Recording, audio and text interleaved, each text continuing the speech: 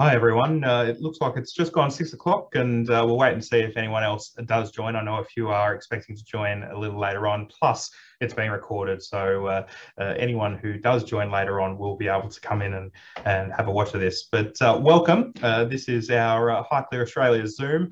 Uh, obviously, disappointing time given that uh, due to COVID we can't travel and it means that we can't get across to Royal Ascot.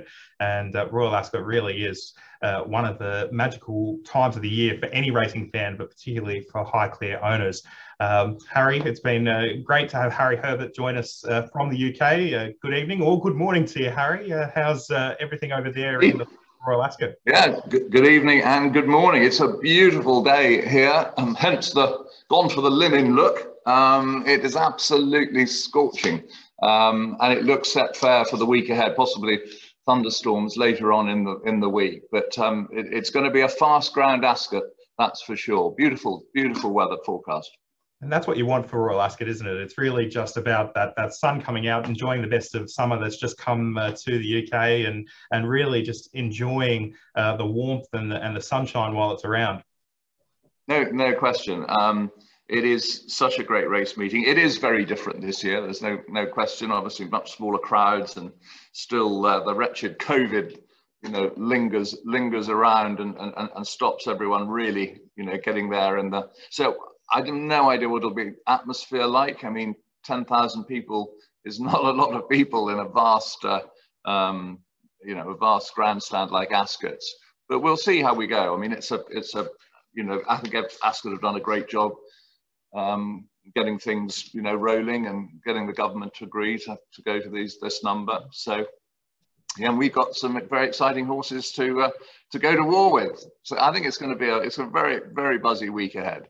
Well, that's the thing. You look at the the Highclere team heading to uh, the meeting this year, and it really is uh, a strong team. But it's, it's spread across all all uh, five days as well, which is exciting. Gives the team something to cheer for, especially over here as well. Uh, in the middle of the night, we'll be up uh, cheering over the, the, course of the five days. So uh, looking forward to it. look, we'll get into a bit of that later on. But before we head down that track. Uh, I just want to uh, make mention of the fact that at the end of this uh, Zoom, we will be answering some questions. Um, if you've got any questions for me, um, I should actually introduce myself uh, in case I haven't actually met you. Um, I'm Andrew Hawkins. I'm the uh, Highclere Australia Racing Manager and uh, very excited to be a part of such a, an amazing worldwide team as uh, Highclere. So uh, obviously Harry Herbert, uh, founder, managing director, chairman, and uh, we'll also have Luke Borthwick joining us, who is one of the Highclere Australia owners. He's been an owner both in uh, Australia as well as in the UK. Um, he's actually not uh, uh, driving, uh, sorry, he's not on video because he's driving back at the moment from the Hunter Valley, uh, but he will uh, just answer a couple of questions now. Luke, great to have you as a part of this Zoom. just tell us, you, from your perspective, what's been your experience as a Highclere owner in the past, both as a Highclere owner generally, but also at Royal Ascot? Hey, Andrew. hey, Harry. Hey, everyone else on the call. Um, Look, uh, I've been a, a Highclere owner uh, since 2014. Uh, and one of my most memorable experiences is actually at Royal Ascot when I was lucky enough to have lunch at the Royal Ascot Racing Club uh, with Mark Kershaw. And then very, very, very lucky enough to be snuck into the uh, pre-parade ring and the parade ring when Telescope won the, the Hardwicke Stakes uh, by a, a, a, an eight-length margin going away from him. And I, I just remember seeing Harry standing there, throwing his hat up in the air, um, and just having a, a, wonderful, a wonderful time. And I was extremely lucky to go into the the, the winners box or the winners winners room at uh, at Royal Ascot, which is I think a, a very privileged place to, to be in, and, and then spend the rest of the afternoon um, sipping uh, uh, sipping wine and, and having a very cab racing a, a very pleasant um, place to be on, on level four uh, at the Royal Ascot stand. So uh, that's been uh, definitely one of my highlights from from five um, none of my horses have, have, have happened to win uh, but look it, it's a it's an amazing um, amazing moment to have one of your horses run at, at Royal Ascot so just an absolute superb uh, a superb group of of people that that uh, I'm, I'm, a privilege to be a part of, um, and, and, just enjoying the. Uh, I just love Royal Ascot. It's like nowhere else, really. Uh, I know we have the Melbourne Carnival over here in Australia, but really, Royal Ascot five days there is, is really like nothing else. And for you this year, what's going to be the experience this year? Because it's obviously going to be quite different to, uh, well, not last year, but at least years gone by before that. Yeah, look, I'm uh, I'm I'm obsessed with Royal Ascot, so I will be watching from 10:30 all the way through to 2 a.m. Uh, every night. Um, I'm lucky enough that I'm going to be able to work from home, so it's uh, going to be a late night and then uh, um, uh, hopefully not too early a morning to, to get started. But I'll be watching every race all the way through, uh, just from what I call the uh, the Bondi Turf Club, which is my uh, my home um, on the on the big screen TV and and, and cheering um, all the the Highclere runners, and then hopefully uh, some of the getting a couple of wins when I can um, back a winner. Hopefully doing the form. Well, I, I, think I'm going to have to get down to the Bondi Turf Club. Sounds like a, a good place to be. But uh, what we want to know is, obviously, you're a man who does the form. You look at all the races. You look at uh, uh, you look at all the races from a long way out. Um, have you found anything this week that you think might be uh, a, a, solid chance, something that uh, people who have tuned in can have a uh, little spec on? Yeah, look, um, I, I actually really think that Campanelle in the Commonwealth Cup is probably one of the the bets of the carnival. Um, I don't want to go to say that you know it's definitely going to win, but I, I certainly think that Campanelle will run really, really strongly in the Commonwealth Cup. Um, I like something a little bit more uh, at odds in the Diamond Jubilee, a horse called Nahaarr, um, and running quite well. And, and, and, I'm hopeful that we can get something around eight or nine dollars for Nahaarr. Um, and then on day one, I'm, I'm definitely in the St James's Palace Stakes going to have a, a small bet on Lucky Vega, who ran very nicely in the 2000 Guineas um, uh, to, to the, the to the favourite and just half a length off. Um, excuses in the Irish 2000 Guineas, but I, I really think that um, uh, Lucky Vega will be a, another horse to, um, to to have a small bet on as well. I think I'm on the same page as you with Campanelle. I think she looks uh, a very uh, difficult horse to beat. Uh, ran well at the meeting last year, and you just look at her as a, a ball of speed. She'll be uh, she'll be hard to beat. Uh, that's for sure. Um, cheers, Luke. We'll get back to you uh, later on. There might be some questions coming your way from the people that have tuned in. But Harry, I'll come back to you. Um, owner experiences. What do the owners get at Royal Ascot as being a, a Highclere owner, what is what does that get you? Not even having a runner at the meeting, just for being a Highclere owner. Um, well, we always have a we always have a, a you know champagne um, and eats um, gathering starts around about. Captain Kershaw has the everything sorted by 11 11.30 and, um, and and and that's the full gathering really um, but also i think when you know when uh, um, you know, you guys, Aussie friends come over, it, it, we probably would have all met up previously anyway, maybe at the jockey club rooms or stable visits or, um, you know, at my home, um, Clodagh's home, Broadspear now. So it, race day is, all five days are incredibly exciting. I mean, this is where every owner in, you know, this country wants to be. Of course, you want runners in classics, but actually to have a runner um, and a runner with a chance at the Royal meeting is is is seriously um, exciting. And um, I, I, see Peter um, Peter Barnett is on the is uh, is on the on the Zoom here, and Peter's um, Peter's had some some fun with us with uh, not just with Harbinger, but uh, um, I, I, think uh, Opinion Peter, and you know, been some great great moments of of, and you think I get excited when Highclere horse wins at Royal Ascot, you ought to see P. Barnett. he managed to, he even managed to watch um, Harbinger win from the Coolmore box and scream the house down. But it is, there is nothing like it. You know, under normal circumstances, 60, 70,000 people, um, all dressed up to the nines. Um, it, it, if you can finish in that first four, you've really, really achieved. Um, and yeah, over the years, it's been a real happy hunting ground for Highclere. You know, we've, I think, I think because I hate sending a horse there that doesn't have a proper chance of finishing in the first four. That we've actually got a very, very good record of that um, over the past, um, what, nearly 30 years. So, um, yeah, we'd like to think that our horses are always a, a sort of fun each way bet. I mean, I must admit, uh, when I was looking through some of the race records and, and past winners, and you, you do, you see the Highclere name popping up uh, time and time again. Uh, before I get to some of the winners, though, I just want to ask you I've seen before um, watching from Australia or being there on track, and I, have seen you uh, before in the carriage with the Queen going down uh, the straight there at Royal Ascot. Just what is that like?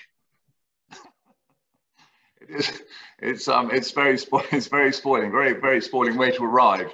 Um basically um the first time that that i was lucky enough to do that um was back in 1997 and the the queen had uh, asked me to um to stay for the week at windsor.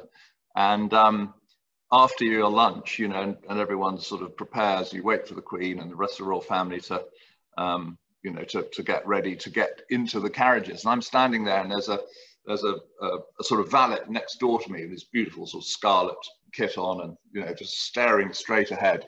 And, um, and there's a sort of, I don't know, sort of uncomfortable silence. And so I looked at him and I said, uh, well, I've got a runner this afternoon in the, in the last race, horse called Heritage. And, um, and he looked straight ahead and he went, thank you, sir. and that was it. And anyway, the weirdest thing, there's a weird story here. I mean, incredible story because I wanted, this is a, I think might have even been one of Danehill's first crop horses. And I wanted to call him Heritage and the name was taken by the Queen.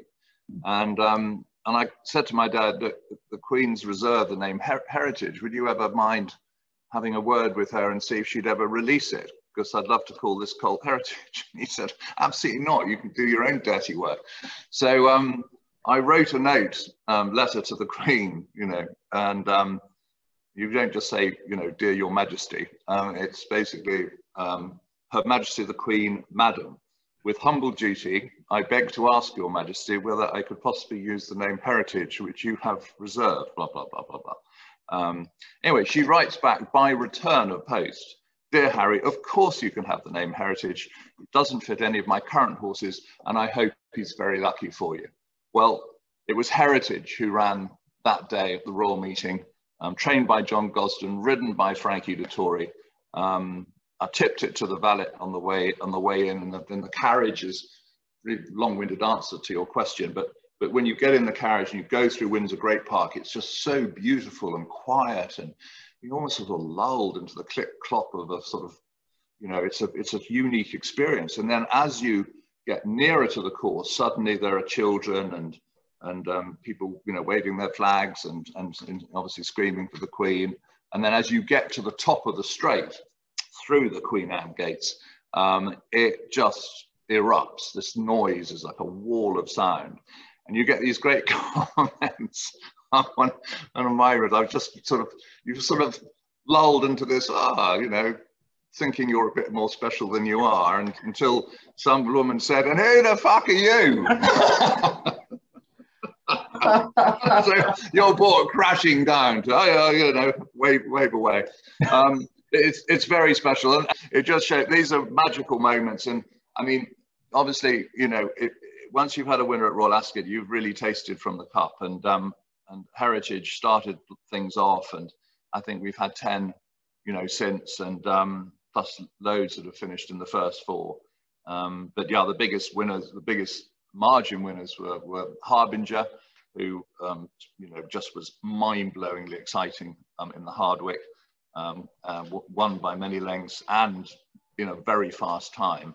Um, of course, he went on to the King George, knocked half a second off the track record and won by 11 lengths, beating two Derby winners. So that was a good moment. And then Telescope, yeah, he, he um, as Luke said earlier, he absolutely blitzed them and um, and sometimes it's the, the ones you're not expecting. You know, I mean, I think um, I can't remember.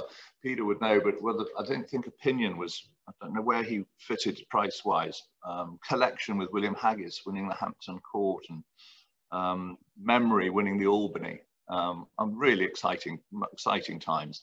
But um, yeah, we've uh, those horses we've had with Sir Michael Stoute that are the slow burners um, in the three-year-old handicap, the King George V handicap. We've managed to win that four times, um, And this week, hopefully, you never know, but hopefully we might add a fifth um, to the tally. Well, it looks like the King George V uh, is the race where Highclere goes with uh, a couple of strong chances, but I will talk to you about that uh, in the uh, coming minutes and uh, the coming moments. But uh, I just want to talk to you about some of those winners that you've had. Um, you know, you talk about you talk about Heritage starting it all, but Beekeeper there, a horse who obviously ended up with Godolphin and, and ran third in the Melbourne Cup.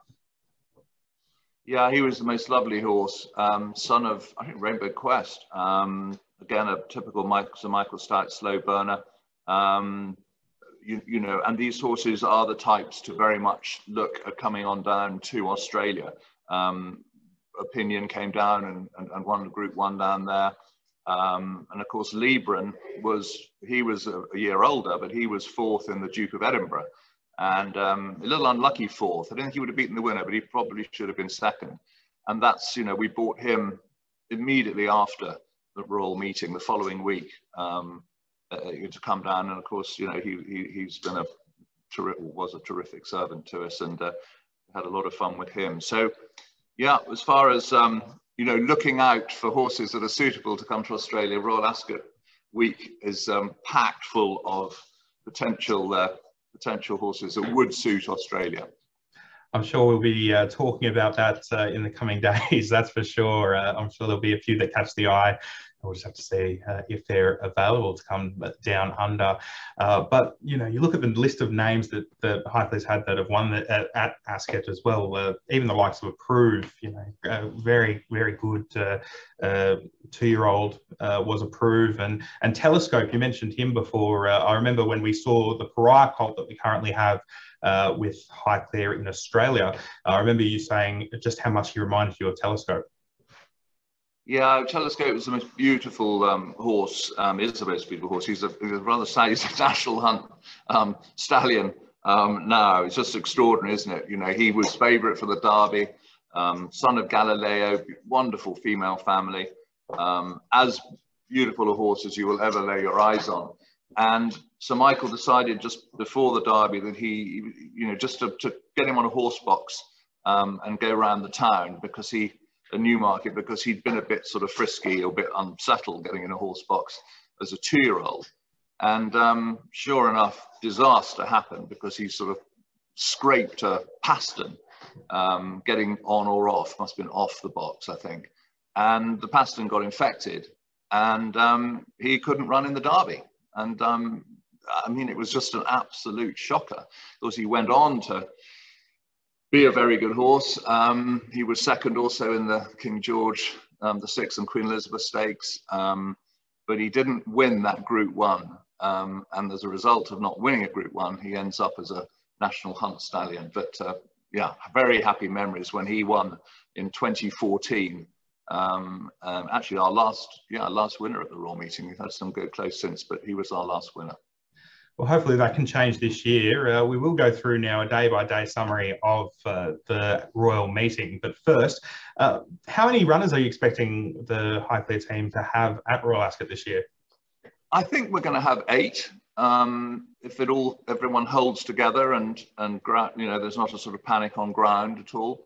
Um, I mean, yeah, we've we've we've got uh, the two-year-old on Tuesday, the organizer in the Coventry. Um, we've got Ascension in the Hunt Cup on the Wednesday. And then on the Thursday, the King George V um, handicap, um, you know, we've got title um, and we've also, um, um, we've also got parachute.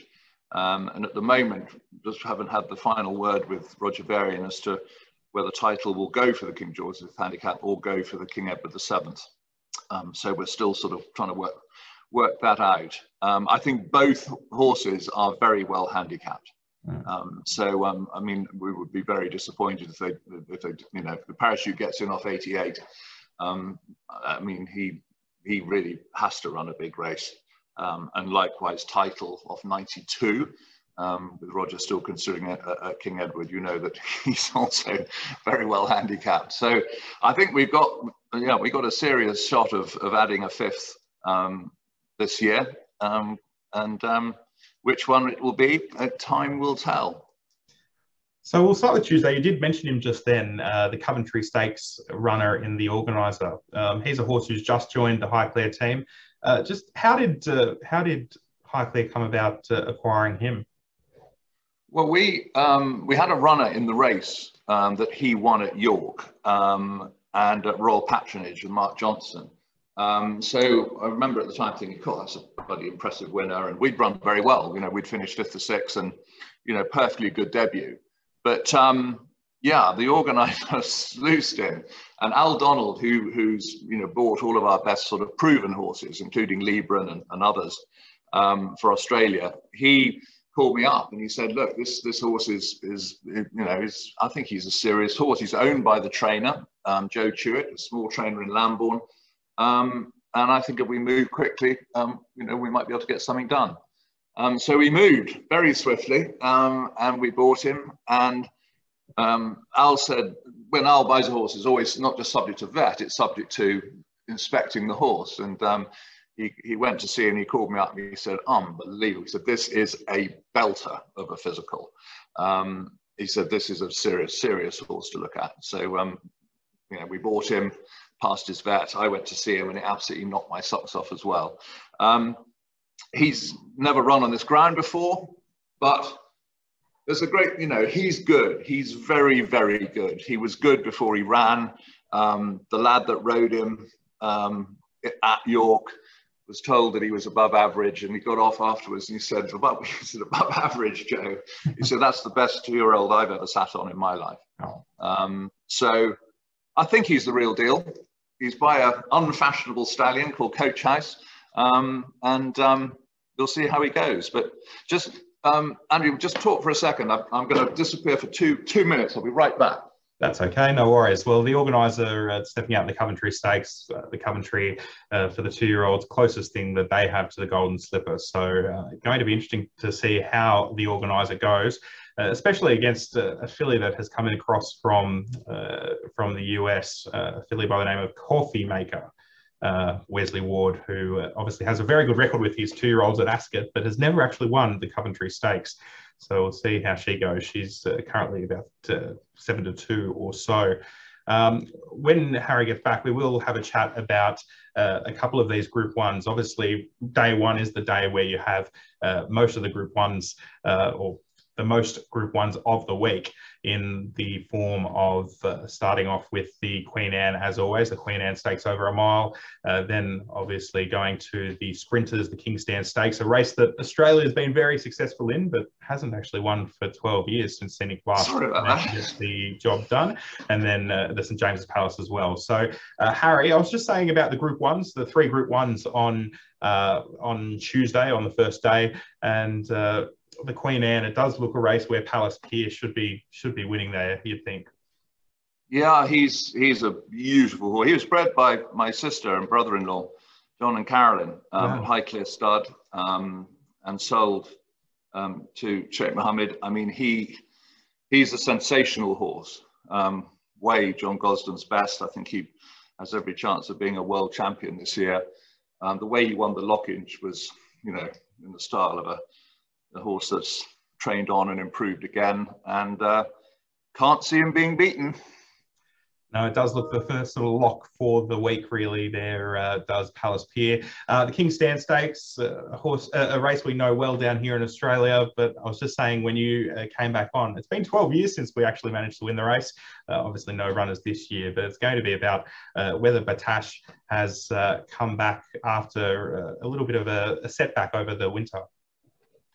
Yeah, I mean he's so good. I mean he's he's he's so fast. Um, you know, he's the most exciting sprinter that uh, you know we've seen here probably since Dayjur, I would guess. Um, um, also, we raced in Sheikh, the late Sheikh Hamdan's colours. Um, um, I think the chat is that he's in fantastic form. Charlie Hills reports, um, and um, if he is, well then he'll take all the beating.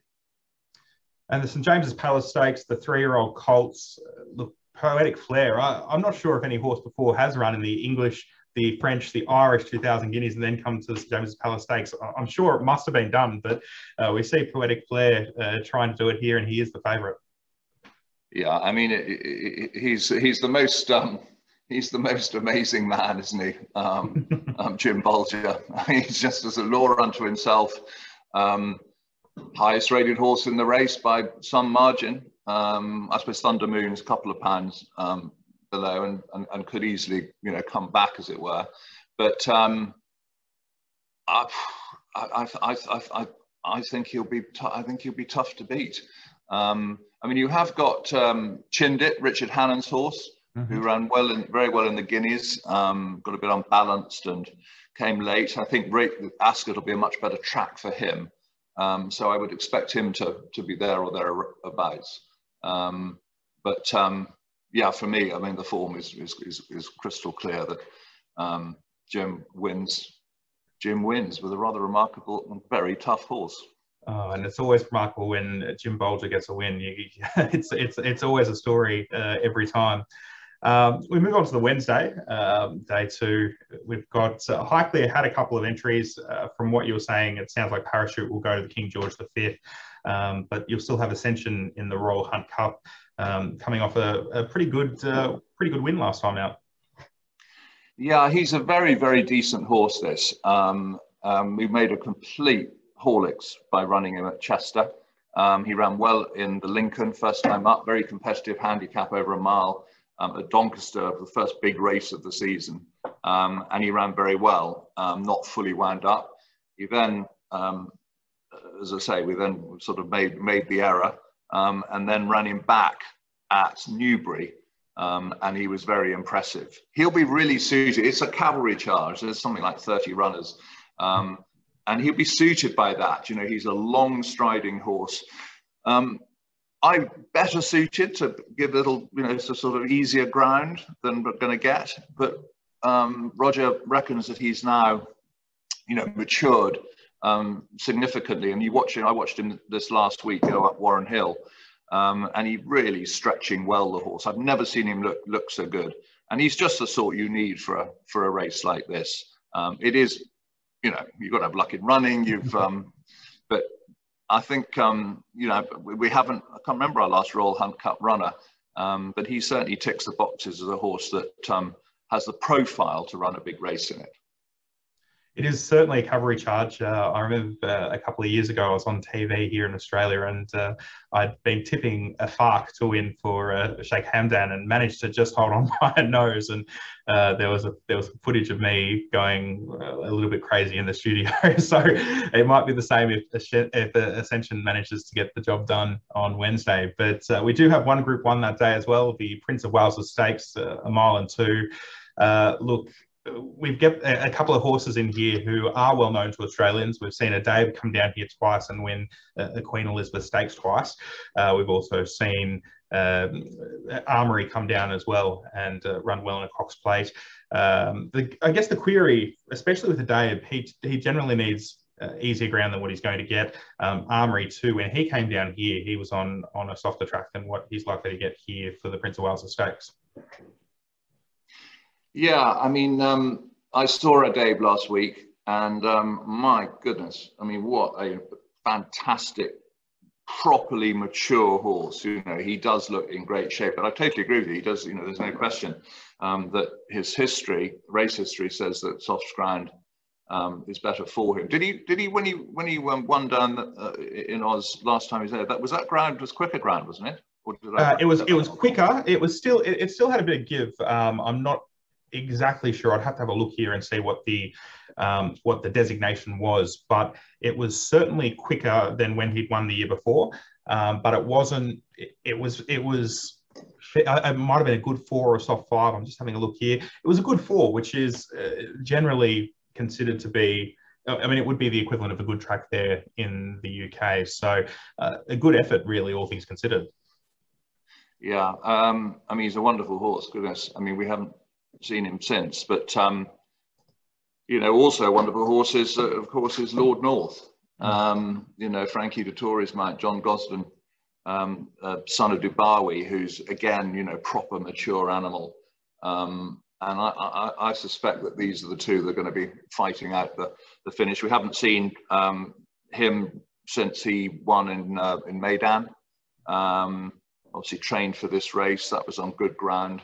Um, it's a it's a wonderful race, the, the Prince of Wales, um, and and of course, you know, everyone is so excited here to see Love reappearing, um, the superstar filly um, trained by Aidan O'Brien. It's a fabulous race, one of the best races of the um, of, of the week. Um, and will the filly beat the Colts? Um, hmm. I think I'd go for Lord North personally, but uh, you know, I'd, I'd, love to see the Aussie star, the Aussie traveller star, uh, Dave do do his stuff, and and and as I say, love with a big white face, and what an amazing filly she is, and she loved the ground. I should say it is really one of the races of the week. It's going to be a really interesting battle. It's going to be a really exciting battle. And uh, yeah, at this stage, I'm, I'm still tossing it up. I think it's uh, between Lord North and, and Love for me, just trying to figure out where where to go. But uh, still got another 48 hours to decide, so that's a, that's a good thing. Uh, Thursday, yeah, we get to King George V. We've already had a chat about it. Um, parachute and title um, potentially both going to run. Uh, we'll still wait and see what uh, what ends up happening with the title. But uh, the King George V, a race you've experienced success in before. Um, look, it must be a race that you'd love to win for a fifth time, uh, given oh. you're in the race. No, no question. Um, and you, you, you, can imagine we're not the only um, ones running horses that are um, that are well well handicapped. every everyone every trainer's got a, a good a good horse in there well handicapped. But this time, I really do think we have two horses that are under the radar as far as the handicap is concerned. Parachute, um, a son of Sea the Stars. Um, we unbelievable this horse, a beautiful pedigree. Never got a bid at the sales. Um, and I think it was Francis who was with Ed Walker looking at one of our other horses with Ed, um, who sort of said, what's that? And it turned out that the, the breeder still owned the horse. And um, so we swooped in and, and ended up buying 50% of him with the, the breeder keeping a leg um, and another owner of Ed's, a long-standing owner, um, you know, also taking a leg. Um, he's he's a big improver, a lazy horse at home. Um, but we saw him when he won at Newmarket, making all and stretching away. You know that he's really coming of age now. This horse, you saw him, you saw him last week physically too. I mean, he just looks fabulous. Um, 88, he's on the cusp. As we speak, the trainer's sending me all sorts of messages. Do you run title? I see title, you know, hasn't dropped up. You know, um, I think we're going to need six or seven to come out for him to get in. Um, if he does get in off 88 uh, and has a clear passage, and it is a rough race, this, you know, it's a very tough race. Um, you've got to have luck in running. Um, but if he does that, um, he, he, I'd be disappointed if he's not competitive. And title, um, this this is the most beautiful son of Camelot. Um, very handsome, very almost sort of telescope-esque in his in his look. You know, but but very like his sire. He was second on his debut last year. Would have won in another jump. Um, just got beaten a short head. He then finished second at Newbury um, to a Gosden horse, the two of them fighting out the finishing. He just, he races with his head slightly high and um, he's not dishonest, this horse, he's just babyish. And, and it came to the moment it looked like, you know, he'd done enough to win. And the horse, and the, just, you know, the other horse got his head down on the line. It was very frustrating. So we, if he'd won and come out of the race fine, we might have gone to a Derby trial with him at Chester, probably the Queen, uh, the, the, the Vase, Chester Vase. Um, but he didn't come out. He was a bit touchy-feely. You know, there's a bit of immaturity still about him. So Roger looked after him, and he's he, he then went to Yarmouth, where he won very impressively, beating a, a, a hot pot uh, filly of William Haggas's um, very impressively with the with the rest of the field a long, long way back. Um, I think he's the real deal. This horse. Um, he excites me, and my only question mark about this week, apart from which race he's running, um, will be the ground. Um, you know, I, am just I'm just not sure that fast ground is really his bag. Um, so that'll be another discussion with the trainer. But he's good. If they have to run against one another, the two different syndicates hate doing it. But obviously, on big meetings like Royal Ascot or group races, you you know you've you've obviously got to. Everyone's going to have their fair chance. Um, so um, I, I, couldn't split them. I really couldn't split them. Just give me one sec. Um, so we will see what happens there. I think um, I think title for the future. The Aussies are after him. We've had a couple of agents um, call me up about him, um, wanting to come down to Australia to race um, with Camelot, I guess, doing so well down there.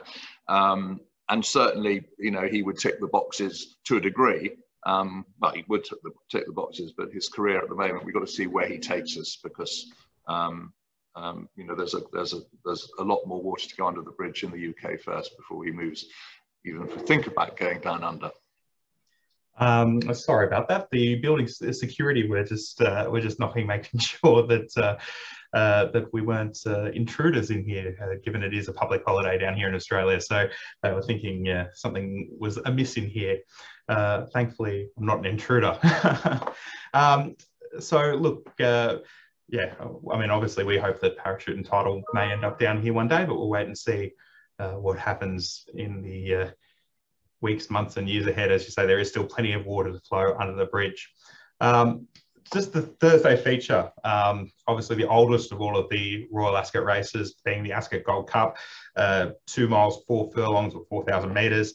Um, before we look at the race, I'm just wondering what it was like in 2013 being there when the Queen uh, managed to win the race with estimates. Uh, I remember seeing um, I remember seeing that video of uh, of your brother-in-law John Warren, uh, who's obviously the bloodstock advisor for Highclere as well as uh, for Her Majesty the Queen. But just seeing seeing him uh, getting so excited as Estimate managed to get that win. Uh, what was it like being there that day? It was unbelievably exciting. I mean, it was the most exciting race anyway, um, and everybody was screaming for the Queen, you know, to win. Um, everyone on the racecourse, and when um, you know, Ryan Moore got uh, estimate up sort of virtually on the line um, to win. It just, the place went completely bonkers.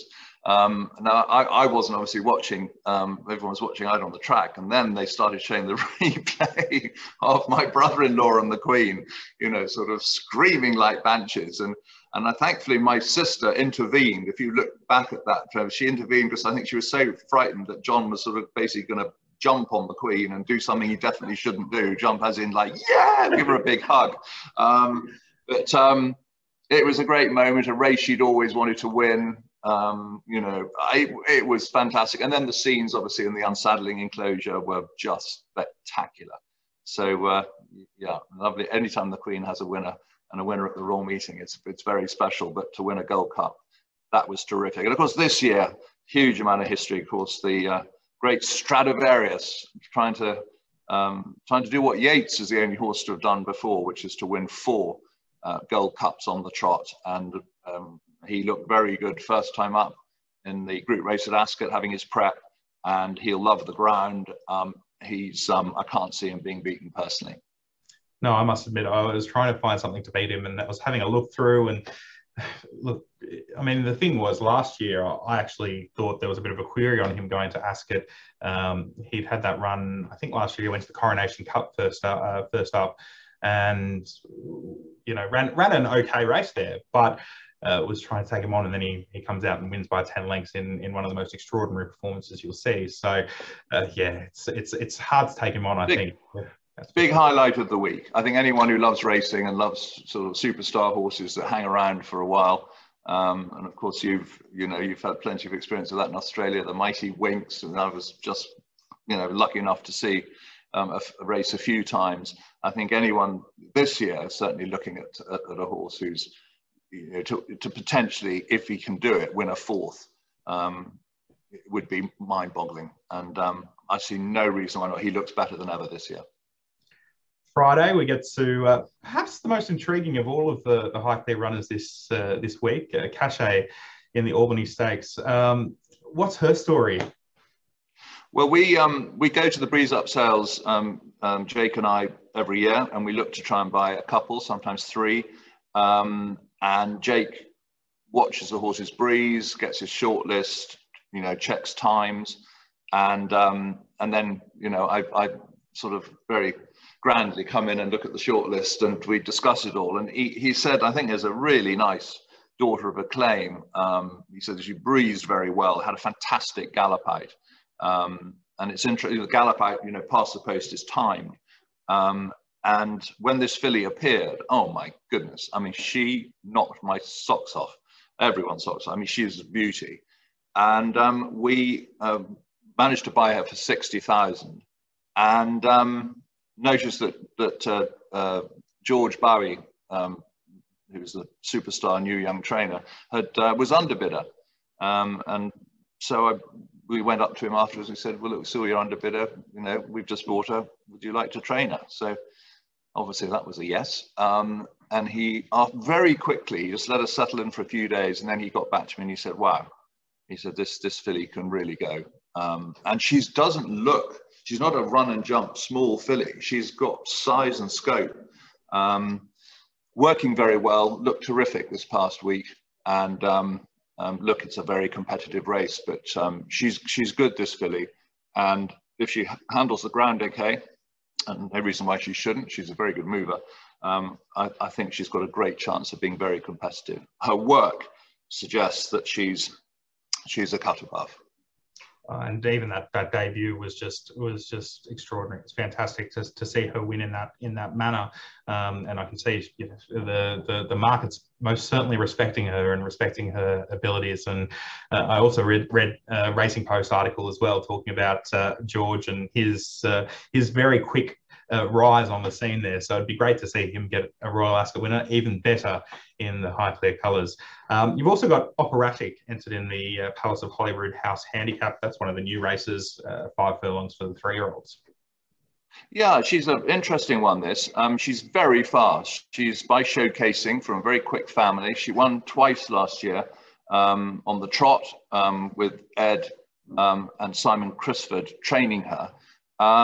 And we sent her, we, we ran her in a listed race, but the ground had turned at Newmarket and she ran a stinker on that ground. Um, training well, brought her back, ran at Goodwood, again, ground not perfect for her, but she's really blossomed since and her work has been very good. Um, their, their idea, they want to do it, the, the, the, the two trainers, as it were, Ed and Simon, um, they said she's in such good form that if she does get in, and I think she might squeak in off bottom weight, um, then um, at the moment we would have William Buick, I think, to ride her. Um, um, we've also got Hayley Turner on standby, depending what weight she gets. Um, but uh, yeah, I mean, she's quick and she'll love, she'll love Ascot. I mean, that sort of stiff, stiff track really is, is, is, is, is, is right for her. But yeah, she'll be a very, she'll be a long price she wouldn't put your house on her, but just a little interest. Well, hey, that's uh, that's what we want. Just a little interest, and hopefully make it go a long way. Um, two Group One races on the card. The first, uh, the newest of them all, the Commonwealth Cup, uh, six furlongs for the three-year-olds. Uh, Luke and I both mentioned Campanelle before. Uh, I'm curious to know your thoughts on the Commonwealth Cup. It's a look. It's it's it's going to be a very good race. The the the, the filly that really interests me is Suesa, mm-hmm. coming over um, from France, um, owned by George Strawbridge um, and, uh, and, and, and, trained by Francois Rohaut um, down there in Pau. Um, unbeaten um, and looks very special. this is a big step up, but you know, she goes in there with 112 rating. Um, Campanelle's 113. This filly is improving rapidly. Personally, I will go with Suesa to um, to topple um, Campanelle, but it's a hell of a race, and there's some very good other horses. Supremacy, trained by Clive Cox, is um, disappointed um, in the Pavilion Stakes at Ascot earlier, earlier in the year when we were third with Spycatcher, um, but he's training the place down apparently. Um, he looked very, looked very big and sort of heavy that first day at Ascot, but he's very, very good. It's, it's, a, it's a terrific race. Um, but personally, I think this could be something a bit special, this Suesa. Um, it's rare. It's, it's rare as well that you don't get the uh, that the, the George Strawbridge colours aren't around the mark in one of these races uh, each year. He seems to have a Royal Ascot winner, if not every year, then every second year.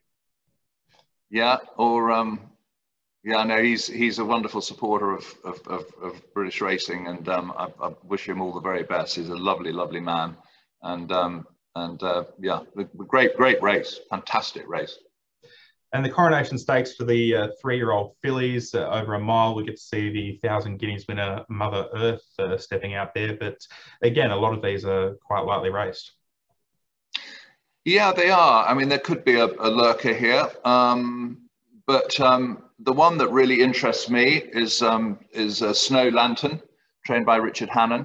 Um, beautiful, beautifully bred filly, um, daughter of Sky Lantern, who won the 1,000 guineas, also trained by Richard Hannon. Um, this filly, when she won her maiden at Newbury, absolutely lit the field. I'm never, I mean, you know, sort of slightly you had the hairs on the on your um, standing up on the back of your neck, just the rhythm that she got into and the way she quickened and won. And she'd been working the place down as well um, before that, um, beforehand. And they decided not to run her in the um, on the 1,000 guineas, but to swerve it. And to, this was always the plan. So I will go for Snow Lantern um, and uh, to beat the Guineas winner in uh, the coronation. We move on to the Saturday fifth and final day. It comes up quickly, uh, not quickly enough, depending on how on how uh, we're going. But hopefully, uh, honestly, it's uh, uh, something that we're all looking forward to, but uh, ready for uh, Royal Ascot next year, hopefully with Australian uh, attendees there. But uh, on Saturday, the fifth and final day, Spycatcher. You mentioned Spycatcher before, and he's likely to go around in the Jersey Stakes, the 1400 metre Group 3 there for the three-year-olds. And we get to see Thunderous, last year's Dante winner, going around in the Hardwicke Stakes. Again, a race that you've, you've managed to win a couple of times before. Look, um, he's he's a lovely horse. Sadly, he's not what we hoped he would be. We hoped he might be the, um, you know, uh, you know, better than he's turning out to be. So there's got to be some discussion as to whether he should really be running in the um, Hardwicke. Um, I would hate to run him and just see him completely out of his depth. Um, the same rules apply. If he can finish in the first, you know, three or four, well then probably let him take his chance. But Ryan Moore rode him at Newbury. Um, and, you know, just said, he look, he's a nice horse, but he's not a, you know, he, he's, in his opinion, he's a sort of listed group three horse, um, even though he's a, he won a Dante. Um, but the Dante's form hasn't worked out. My, Sir Michael Stoute's horse that, that uh, he beat um, hasn't gone on to be the horse they all thought he was. Um, so I think we've just got to slightly play it by ear. Now, telling Mark Johnston um, or suggesting to Mark Johnston that you don't run one of his horses at Royal Ascot um, in the race like the Hardwicke. and you go for a, list, a listed race, I think next week or the week after, there is one for him at Newmarket, uh, will not go down well. I've already tried to broach the subject and got a sort of, um, we'll, we'll wait and see. That's a so very good of, impression. I'm very nervous about um, about that conversation. He's a gorgeous horse. Um, but he's, you know, he really needs further as well. He's a sort of horse that might turn out to be a, you know, Gold Cup horse next year, possibly. Mm-hmm. Um, so I don't want to do him down too much, but um, um, I don't think he'll be winning. I think it's highly unlikely to be winning a, a Hardwicke. And Spycatcher, yeah, lovely horse. Um, he was second in the Acomb last year at York um, on his uh, second start. Um, he, um, you know, he's been placed in two group races this year, um, running over six furlongs each time. Um, and we just feel he'd be better to be running over seven back onto that Acomb trip. Just, just gives him a bit more time to get organised. And, uh, and, and, I think this horse is better having a horse to fire at in front of him. So um, I think he's a horse that could run into a place in the in the Jersey as winning it. Mm, tough, very tough. It's one of those races, the Jersey, that uh, always is is touted as as a secondary race for the three year olds, given they've got so many other options. But it always seems to throw up a really nice horse or two uh, going forward. It does. It's a it's a. I think I think like a lot of races at Royal Ascot, I think they've they've got more difficult as the years gone on. There used to be sort of small fields, and you know you could get into the Queen Mary with sort of sort of eight or nine runners, and now it's about twenty. Or the Albany is the same. Um, but um, yeah, you know, he's he's this, this is a decent decent enough colt, and um, um, but it does take a good one, um, probably one that's improving faster than he is to win it. But I think he'll be, you know, he's a tough horse and he's hardy, and I think he'll run well. But I, I, I think might just be found wanting um, to win a race like the Jersey. So the day's feature, again, another race that Australians know quite well, uh, the Diamond Jubilee Stakes. Um, again, no Australians running in it this year, of course, but uh, we do see Starman going around, uh, who's only been beaten once, looking for a first Group 1 victory here. And uh, I did see one Racing Post scribe recently suggest that they thought he could measure up to any of Australia's best sprinters, that he could come down and win an Everest or one of those, those big races down here. Um, just curious on your thoughts on that. Um, I, I mean, he's been talked about by Ed Walker for some time. Um, I mean, Ed, you know, reckons one of the best horses he's, you know, he's he's ever trained. Um, so I think it's you have to pay attention. Ed's, Ed is come from the school of Luca Cumani, which is sort of not the most optimistic school in the world, um, more the school of pessimism. Um, so when he gets this buzzed up about a horse, um, you really do, you know, sit up and listen. Um, son of Dutch art, um, you know, very, you know, improving rapidly. Um, he won the he, won the uh, Duke of York um, at York's May meeting, um, you know, by a neck from Nahaarr, who I guess reopposes, does it? Yeah, reopposes. I think this ground will suit him better and um, he apparently is working brilliantly. But um, this is a tough race. There's some very nice horses in here. Um, I'm just I was looking at it funny, just just wondering, you know, what the what the final field would look like. Um, Art Power is a very good horse. Tim Easterby's horse. Um, you know, he's he's very good on his day, um, and um, I, I, I think it's pro probably not got the strength in depth that it sometimes has. Um, so we're looking for a new star to to, to, to come forth. Um, Happy Power, Andrew Balding, source good horse. Um, but I think I think we'll go with the infectious sort of optimism of Ed Walker and see if Starman can can do can do his stuff. Great week of racing ahead. My goodness, it's exciting. Um, and um, need a bit of stamina. So Claude has got me on the old peloton every day. it's it's funny you say that because Peloton. Uh, I was actually reading an article before about Peloton launching in Australia and getting ready for uh, uh, for its big uh, big unveiling down here. It's actually uh, you, have had to smuggle them in in the past. So uh, yes, I think that I think the Peloton the Peloton might be helpful there for, for helping with your stamina for, during the week. And look, it's going to be even bigger if Highclere manages to have a winner or two. Um, just on well, we'll uh, you, we'll be doing one, our best. We'll, well be doing one, our best. Which one do you think is the best of the chances? Uh, I think that um, I think Cachet um, probably, but I also I, I couldn't split parachute and title get into the King George V and they're not fighting out the finish together. I will be very surprised. And and I guess sort of ground wise, I think title off 92 is is is special. If he doesn't go for the King Edward and he runs in the King George V, I think he'll take some really will take a lot of beating. Yeah, I have to admit, uh, title. I thought that that win, um, or just just his performances throughout his career, he's looked like he's very very progressive, and 92 definitely isn't going to be the end of him uh, there. That's for sure. Um, and just quickly, if you had one jockey, one trainer for, for people to follow, if they they just want to be able to have a quick look at, at uh, the races, is there any jockey and trainer uh, that they should be following this week? Oh, goodness. Um, you, you, you should always, I mean, the, the, the, new superstar kid, George Boughey, is, has taken the training ranks by storm. Um, he's running at a staggering um, strike rate at the moment. Um, you know, he's too good for it all to be beginner's luck because he's, he's hitting these remarkable statistics.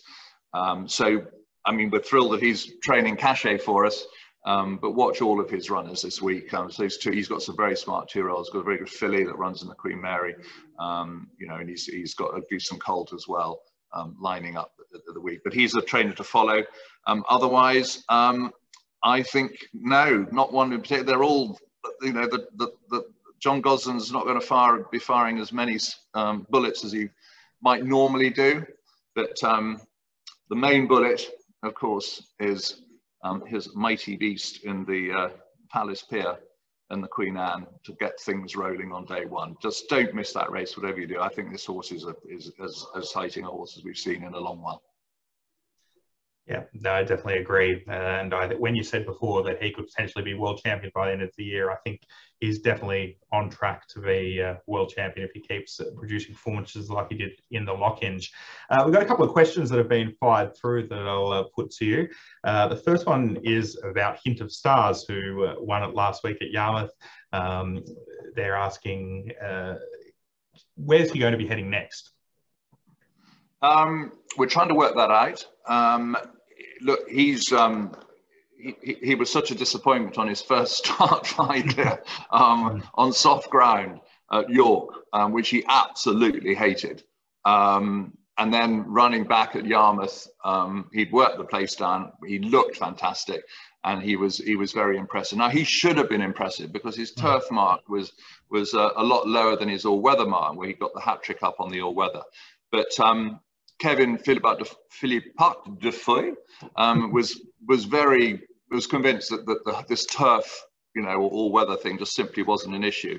But what he wanted was um, was you know was fast to ground, um, and I, I, thought he was very impressive the other day, and I think he'll um, be a horse that that will progress as we anticipated him to progress. Um, it's just a question of which flight we put him on, Andrew. Yes. Um, do we get him? Do we put him on the July flight down, or do we, um, or do we sort of let him, you know, see if he develops into an Ebor horse? Um, you know, the clock will be ticking on that front, but I think there's a very big, not the big, a big win, you know, um, as a handicap win for him before he comes down there. But he's smart, and he looks smart, beautifully bred horse. And um, yeah, I think he's I think he's great great value, really really good purchase, and hopefully with uh, Matty Cumani um, involved and his sister, Francesca, also a share owner in the horse. Um, we'll have a lot of fun with him down in Oz. Oh, let's hope so. Um, that was very exciting. Uh, it was about, uh, it was almost 1 a.m. here, and uh, yeah, I must admit, I must. Uh, I think I woke up a few of my neighbours giving him a cheer home. Um, one here from Matt. Uh, Highclere seems to have a lot of two-year-olds in the UK this year. Is that uh, is is there more this year than there normally are? Um, there's some better ones than we've had in the last couple of years. Um, we haven't got more, probably got the same number, but, but, joking apart, we do have a very nice group indeed. I mean, we've, we've been, you know, when we, Alex and Francis and I will, you know, go up to um, see all the horses training, and we knew that we'd have a much, much better group. Um, and, um, and, and I think there's plenty more to come. We've got a lovely horse with a Le colt with Roger Varian um, called uh, Broadspear, um, named after where Claude and I live. Um, it's the Broadspear Syndicate, um, with all the new syndicates for this year being named after, um, as I say, where we are in the park at Highclere. And the house is called Broadspear, and um, and all the share owners have all put it up, saying, "Well, let's call him Broadspear." And Broadspear was available, so he carries a very heavy weight of expectation. Um, he's lovely. Um, he's going very well indeed, and hopefully will make his debut um, pretty soon. I would think probably within um, you know just just sort of first week of July or thereabouts. But one definitely one to follow. Um, but there are other the horse that was second, Harrow at Newbury this week this uh, week um, last week rather. He's a very very good horse and definitely should be followed. Um, we've, we've got we've got a few, thank goodness. Um, I would say the best group we've had for, you know, probably since some, um, you know, for the last sort of four or five years. And I've had one question here about another horse uh, that we haven't seen yet in the UK, Civilian. Uh, when's he likely to step out uh, in the UK? Yeah, very frustrating. He's with Simon and Ed Crisford now, um, was trained by Freddie Head, and then, of course, with Brexit, had all sorts of problems trying to get him back from here into to, to France because he wintered here. Um, uh, he'd been training very well, and then suddenly, I'm afraid, he um, uh, he had the um, what did he do? He coughed last week, um, and so we had to have an easy week. It's really frustrating. He, he's very decent, this horse, um, and um, we're really excited to, to be getting him going. He's close to fitness. Probably take a run to get fully fit because he's been off a long while, but he's a very decent horse. Always highly regarded by Freddie Head. Um, definitely one to follow. Uh, Jace has said, how many winners will the great man Frankie ride? And uh, who would be your thought for leading rider? Um, I think it's going to be a, a, a, a close one between Frankie and, and uh, William Buick. Um, I think William Buick might just be favourite, but I, I, I ask it. Come on, Frankie. yeah. uh, Palace Pier, Stradivarius. It's not an. You know, not one of those without Frankie, is it? No, it's not. Look, he's he's riding as well as he's ever ridden, and the wonderful thing about Frankie is you watch him ride. He's just very rarely, you know, gives the horse anything more than maybe one slap in a race. You know, it's all about balance and hands and heels and rhythm and judge of pace great jockey still riding right at the top of his game. And the final question that's come through, uh, it's from Ben Fung, uh, and it's one I think both you and I can answer. How can I become an owner with Highclere Australia? You get immediately onto the phone with um, Andrew. um, literally, I mean, we, we you, you, know, we, we've got a lovely group of owners there. We've always had a lovely group of owners in Australia, very much started with um, you know, friends and friends of friends and, you know, Peter Barnett watching there and, and, and others, you know, part of the real buzz is, you know, for, for, for me with Australia has been having such a lovely group of people. It's how Highclere started here. It was all about, you know, friends and then those friends introducing um, and having fun. You know, we're trying to find these good horses. We think our USP is that we can continue to buy um, exciting, um, proven horses um, to race um, down under. It's not to say we, as, as, you know, we bought you know yearlings as well, um, and horses like Edison have done very well. Um, but you know we, we we have those, but this proven horses are our are our bag particularly, and um, we've just bought one recently, which we will be telling you all about very soon, Andrew, won't we? Yes, we will. Uh, look, I'm very excited about him, but uh, we do also have a share available in Grinling as well. If uh, uh anyone's interested in Grinling, he's a horse who has come out here. And uh, Harry, you can you can talk a bit about Grinling and his background, um, and I'll I'll carry on after you. Well, look, he's a good he's a he's a lovely horse. Richard Hannon trained him here. Um, always thought that he was. Um, we bought him at the right time. Um, uh, an improving sort, son of Mastercraftsman.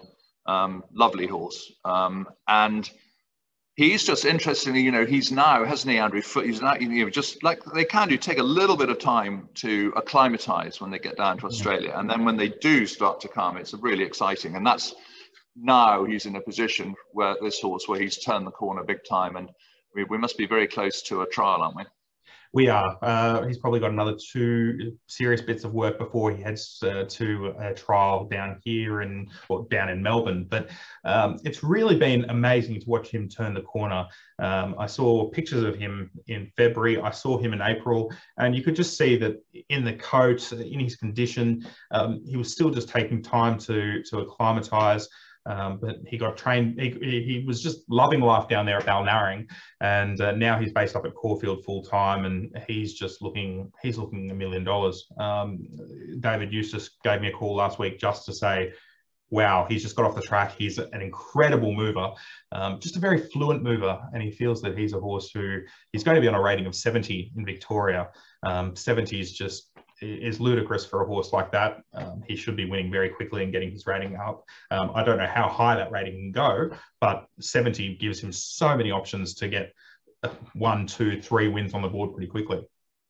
Yeah, absolutely. Well, look, we, you know, if, if anyone is interested, grab that share. It shouldn't be, it shouldn't even be around. It's a, a horse like this. Andrew, we're going to have to mosey on here because we've got declarations to do. We've got um, of Royal Ascot week and we've um, I think we've bored everyone to death by now. Probably. We probably have, but thank you so much for taking your time out, uh, Harry, to, to chat to us. And look, uh, hopefully we're back at Royal Ascot in 2022. But uh, no, look, good luck this week, and I'm sure that everyone down here is going to be cheering and uh, hoping that we have uh, a win in the Highclere two-tone blue this week. Well, well, thank you so much, and um, it's so lovely to see everybody. Um, obviously, we miss you. Um, hopefully, COVID over, we can, you know, all gather next year back at Royal Ascot without restrictions, um, and um, see everyone in the owners and trainers car park come Tuesday, uh, um, you know, a, a, year hence. But in the meantime, as soon as I'm allowed to get down to Australia, I will be on the next plane with Clodagh to see the horses and to catch up with everyone again. So um, um, lovely to see you. Thanks so much for tuning in. Um, and we will be in touch very soon with more news. Thank you very much, everyone. And thank you very much, Harry. Have a good night, everyone, and we'll see you soon.